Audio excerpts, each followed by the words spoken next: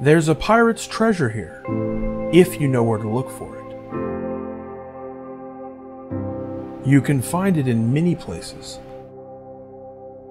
In books by our distinguished faculty. In the names on our buildings.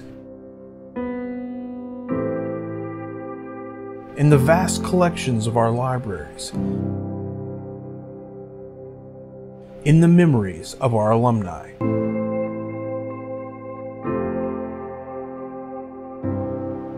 It's the story of our heritage woven into the very fabric of our beautiful campus.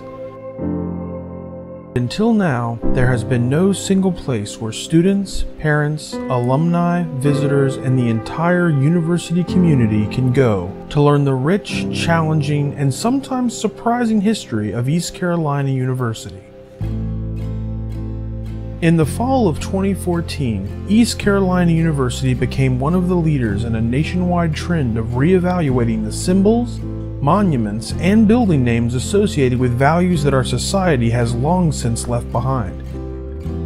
ECU's Board of Trustees resolved to create Heritage Hall, a place where ECU's history could be presented in an authentic and comprehensive context.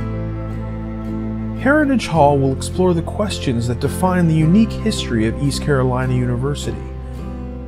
Why, from before its founding to the present, has an institution dedicated to serving the people of Eastern North Carolina met so much resistance from other parts of the state?